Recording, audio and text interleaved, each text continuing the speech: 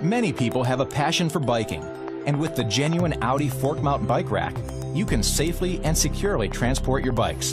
Before installation, check your instructions to ensure you have everything you need and that you've properly installed your vehicle's roof bars. Insert the sliding blocks of the bike rack by inserting them into the T-slot of the roof bars. Once in place, tighten the screws on the lock and the guide block using the hexagon socket screw key. To attach your bicycle, you'll first need to consult your bicycle's manual and remove the front tire.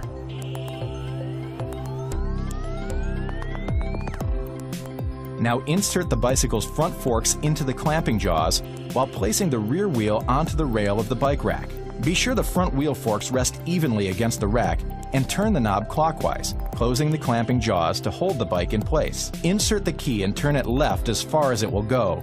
Then push forward and hold the knob until it engages. Turn the key right to secure.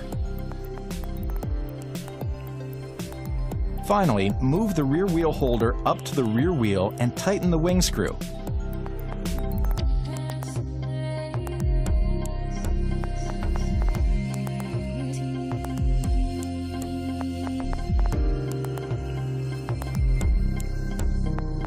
You're now ready to enjoy both of your passions, your bike and your Audi.